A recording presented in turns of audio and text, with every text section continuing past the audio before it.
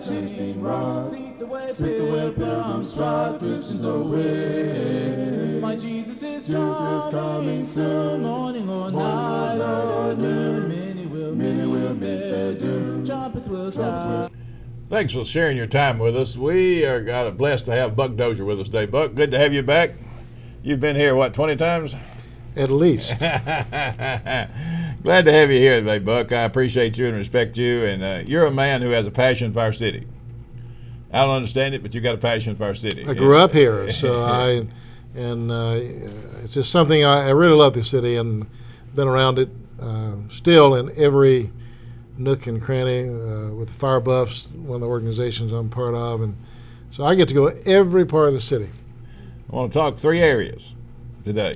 If I and we'll chase rabbits. We'll talk about anything you want to talk about. Is I, I want to spend a little time, and we've talked about this before, on the importance of the home, because I have we can't talk too much about that, and I want to talk about the government and the role of government. You're the one that helped me understand that. Uh, if the government didn't tax, they don't have money. And, and, you know, I grew up in the United States knowing all this, but uh, uh, I, I, have a better handle after you explain it. I want to talk about that a little bit, and uh, and the role of churches. Uh, churches got to get out and get involved in our communities. Um, and I was I want to start work off those three areas. Let's talk about government, the role of government. How do you see the role of government? Well, I, I think it uh, was designed by God, home government and the church. I think government was designed to execute wrath upon them that doeth evil, as, as the scriptures say, and that is to provide justice. I'm not so sure that government uh, is effective in handling social issues as a lot of people would like for it to be. I rode with a police officer recently, and uh, and it was a female officer, and we I've ridden with him many times, and I was the fire chief, so I know all areas of Nashville. But we were in an area that uh, where families are not not big. They're they're they're broken. They're they're fractured. Uh, a lot of children are born, but they're not. There's no fathers in those areas. I've known that all my life, but I, I had an eye-opening experience those eight hours. We didn't have any really exciting calls. We had uh, we did social work that evening and she was excellent at it. And I left that eight hours uh, mad and sad, uh, mad at uh, government, who I think uh, who is keeping them entrenched in that system, where the more children you have, uh, the more money you get. Uh, and then the other thing was, I left sad because of the children. Um, I was They're hurting, aren't they?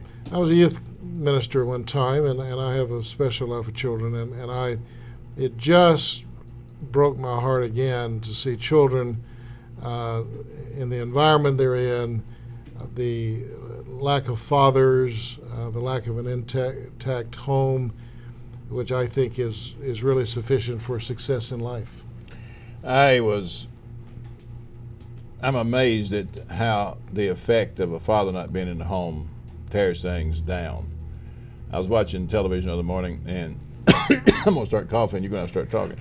I was um, watching a program on Fox called Fox and Friends, and they had Huckabee on there, and they was talking about poverty. And man, he told I got the answer to poverty, and he said it so boldly that it kind of shocked the, the host.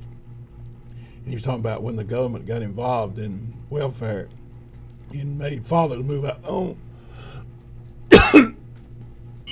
Excuse me. We'll drink some water. Mm. Well, and, and I'll pick up for you. The the uh, it's exactly right, and uh, it it has caused the the uh, abandonment of, of happy homes and, and, intact homes. I think uh, there's there's a great term called social justice, and it's interpreted by many people different ways. And but I, I don't think the savior of human beings in, in so many areas is, is government. I think government does well fighting fire. I think government does well uh, fixing streets. I think government does well in policing. I think that's that's what they should be doing. But when we get into the social issues, and I just was reading some articles about uh, when when uh, Johnson did the great um, uh, poverty Rachel program. yeah, the great yeah, you know those it didn't work. In fact, it got worse. And we have a whole lot of people who are, I think, uh, are, are compassionate people. They mean well. They want to help. But I don't think they understand human nature, and I don't think they understand the role of government. Uh, they, they assume government uh, uh, is supposed to do everything and, and is, the, is, is the highest of all institutions. I disagree with that. Uh, I think it has its place. Uh, defense, for, you have to have, countries have to have their own defense uh, systems against foreigners who would do them harm and so forth. That's the role of government. But the role of government, uh, the way we're trying to even, I think, more so do it in America right now, is problematic for the family. God gave us a family first. Everybody's heard me say this a thousand times. He gave us the government to protect the family, gave us the church to save the family, but the family's got a small group. Now, what Huckabee was talking about, Buck, was that the families, when they had the husband in the home, and they started a welfare system to taking the husband out of the home. They wouldn't pay if the husband was in the home. And now those families are in poverty. They are, and, and this is what I saw on the street. I've seen it when I was in government. I've seen it, uh, but it was brought home to me again. I don't know why all of a sudden, after all these years riding with this officer, all of a sudden my eyes were open again to to our system in America that is, I think, is uh, really harming people. Uh, you know, I think the churches need to do more. The churches need to to uh, take on families. They need they need to get out in the community, uh, away from just their own doors. Uh, I think I know we just did a vision study for our church, and uh, and I'll be frank with you, we realized that we we were we've been doing a lot of good works, but it wasn't doing exactly what we think the Lord commissioned us to do, and and we were in areas that I think that others can handle much better than us. And so we now, as I said, it goes back to my coaching days. We kind of said to the congregation there, "This is a football. This is, this is where we start, gentlemen. Uh, this is what a football looks like. Now let's get, we'll do the plays and all that. Get back to the fundamentals again, and allowing all three of these institutions to do what I think God intended for them to do uh, initially." Can you just imagine and see the vision that if each family, if we go as family as God's small group, if each family would adopt one family that needs help and work with that family, we could wipe out poverty in America in just a matter of hours. The statistics are there to prove that, and and uh, I've seen those statistics, and I think, uh, and I agree with you totally. Uh, the church needs to get involved human nature is is I use the word peculiar. There are people again out there who are very compassionate, who don't, I believe, understand human nature. There are some people who are honestly in need. Uh, they need food, they need clothing, they need some money, and so forth. Then there are some lazy people. There are People some people. crooks. They're, they're crooks.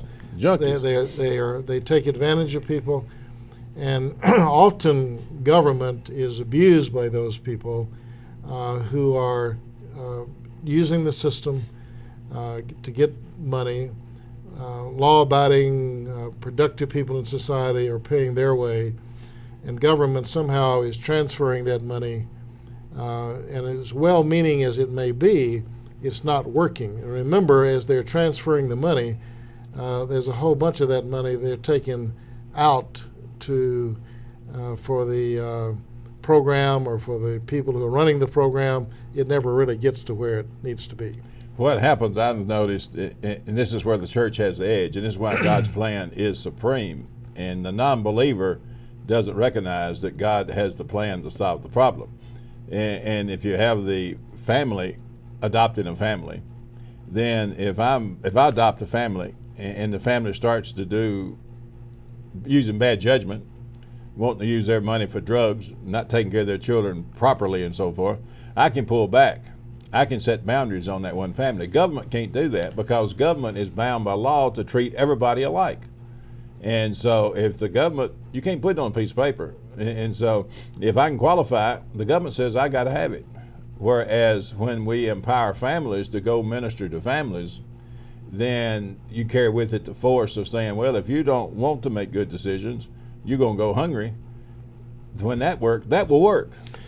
and surprisingly, when they get a little hungry, how motivated they can get. When it when it's easy for them, when it's too easy for them, That's right. it tends to uh, lessen their will uh, as a human being, I think. And again, this business about uh, human nature and understanding human nature, there's a huge uh, political philosophies uh, that are they're fighting with each other, uh, and a lot of it has to do with the understanding of what human nature is. And and we use the word communism, socialism, those kind of words all the time in society. Uh, those systems have never worked uh, ultimately for the benefit of a human being. It sounds great. It sounds compassionate. It sounds wonderful. It sounds uh, like it's the thing to do.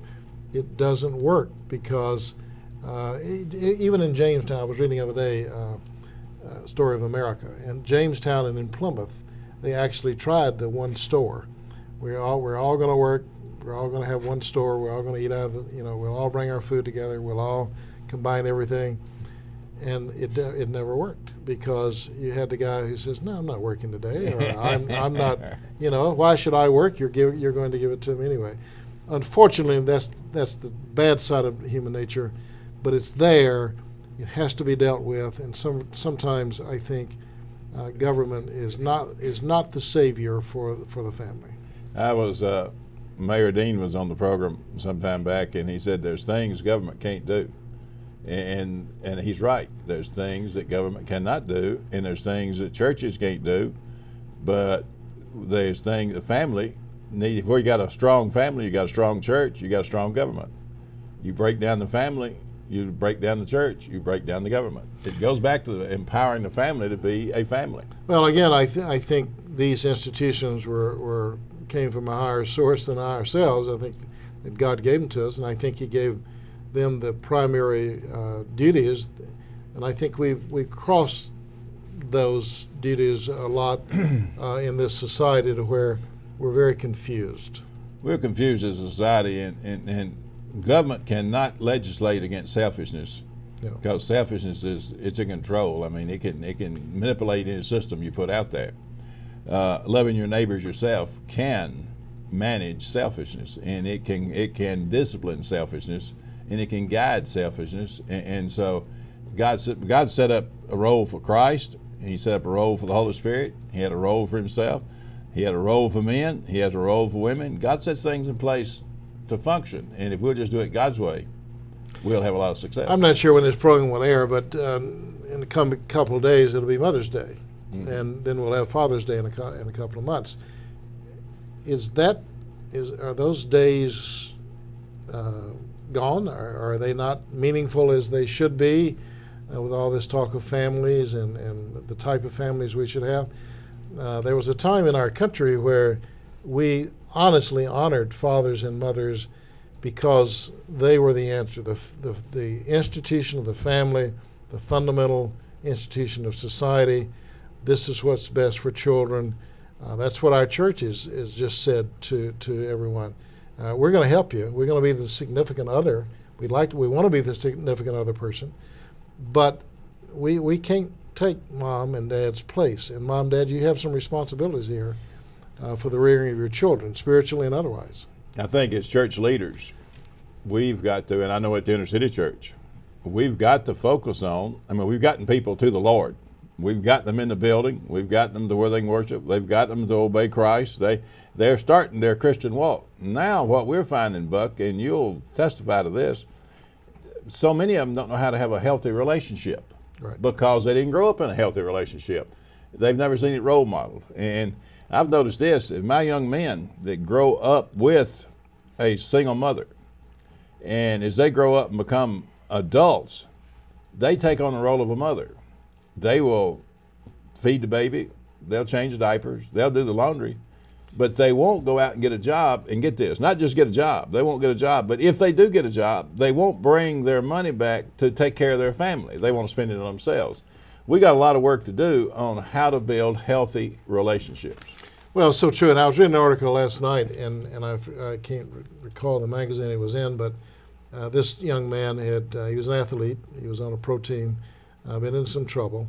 And he said, point blank, his quote was, it was brought out in the article that uh, the gang had become his father. That he didn't grow up with a father. He didn't know uh, what a father was like. He didn't know what a family was like. And the gang became his became his family. That's the reason gangs thrive. They are. They fill that void, and they are headed up by evil, and it destroys our children. And, and you know, and that's the reason our kids wind up going to prison, and it costs us. For the American taxpayer, somewhere we've got to get a grip on how much money we spend in to incarcerate people. When if we get in prevention and them never get there, we'd save millions and millions of dollars. When I was a youth uh, youth director years ago, uh, and I used to tell the parents uh, when I first met with them every year, I said, I'm not here to raise your children. I'm to be a significant other person. Now, there are some children who gravitated toward you a little more because things were not good at home. Uh, mom and pop weren't getting along, or in some cases, even abuse uh, by the father, often, or stepfather in some cases. And so they would gravitate our way in, in so many instances. And that's the church can help there, and, and, and government can help there in, in, in, many ways too. But it, it cannot take the place of the institution of the home. It is the fundamental uh, element of, of uh, foundation of society. It's and, and it grieves me in this country that we're, try, trying to redefine it. Uh, we have lessened its values in so many ways, and we we just wring our hands all the time about what's going on morally, uh, the, the situation that children are getting into. And again, I think the lack of modeling, proper modeling, is causing uh, a, a, great area, a, a great harm in this. One of the big mistakes educators probably have made is they think everything is in life is academic, mm. and it is the example is the greatest teacher, and, and academic supports the example but academic does not control the example. The, the example is what is important. What agrees me, uh, and, I, I, make a speech all the time in many places uh, uh, dealing with only hang real heroes on your wall. Yeah, I heard you make that 30 years ago. Yeah, and, uh, and, and it still is probably more important today it is. than it was then because back then we had heroes that were, as I tell everybody, and this shows my age, but Roy Rogers was – was my hero. And, uh, you know, he never had to reload his gun when he was in a gunfight. He never lost his hat when he had to fight the bad guys. He, white hat, too. He had a white hat. And uh, so, I mean, and had the great dog and, and a wonderful horse and always got the girl and, and so forth. But those, those, you know, it wasn't real. But for a young man who is not dealing with a lot of life at that time, but who's learning about life, those kinds of examples was, I think, absolutely paramount. Today, kids, they're growing up too quickly. They're seeing things, being involved in things, seeing things on TV that are adult stuff, and they don't need to be involved or uh, that those kind of things don't need to be in their life at that at that age in their takes life. away their innocence. And and the type of heroes, uh, I, I, Sandra and I, when I was coaching, uh, were asked to keep a house, and uh, this couple was going to Florida, and we were going to keep it. So I went into this young man. I coached him. I went into his room, and if if he wanted to be like the people that he had on his wall, the posters, the memorabilia, and so forth, I was concerned. Today, that young man is no longer a young man. He's on up there. He's just like the people that he associated himself with and he never was able to grow out of those uh, of the heroes that he had chosen at an early age. Their their methods, their philosophies of life, their music, their words, their language. Uh, for a young man to be involved in that at that age, he never was able to, to get out of it, and he's been hampered all of his life because he didn't have the proper role models, didn't have the proper heroes early in his life our parents need to understand that, that children, and, and I think we probably understand it, but we don't get aggressive in enforcing it. The decision, I tell my teenagers, the decisions they make between the age of 16, and I probably should back it up a little bit, but the decisions they make between 16 and 24 is going to affect how they spend the rest of their life. And they can live to be 80 years old. But if they make a wrong decision at 16, the rest of their life is going to be in the tank. Well, one of the things that I've, I've really gotten concerned about over the last few years, I always dealt with uh, 13 through 18 year olds, and they're if I had a specialty, they were they were they were the specialty. The area now that I'm most concerned about is 19 through 24. Uh, I've all of a sudden realized that the decisions of marriage, uh, education, uh, often their their theology, their in terms of what they believe religiously and so forth, will be made in those years. Mm-hmm. And people know that. The people who have philosophies, they, they want to get at them at that age group. And I'm, and of course, they leave the house. Uh, parents don't have as much control as they once had. We understand that. The church doesn't have as much control over them as they did because they're off to another school or a different county or state or whatever. But I'll tell you, um, the social media now to be able to stay with them through the internet and so forth. Uh, the youth ministers now uh, sometimes go and spend night hours on on the line with kids they had who are in college. I had one tell me that they were on line one night with three different kids, all having different problems. But it's it's a blessing in one sense that we can still contact them now. We're going to have to use that medium, I think, even a greater way to, to because that's a critical time of their life. Uh, they don't know who they are. They're they're feeling their oats. They're growing up. They're, you know, Insecure. insecure. Uh, think they know it all, and it's it's so critical in that area. And I and I always thought seventh through twelfth was, but I'm almost believe that 19 through 24 may be uh, Here was my experience. super critical. and based in my service when I was in the military back when.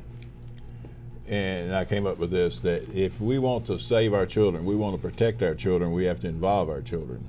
We have to engage them. Because if we try to protect our children by isolating them from the real world, when they get away from us, they're going to go berserk. And I saw that coming into Saigon just over and over and over, and I've talked about it a lot on this show.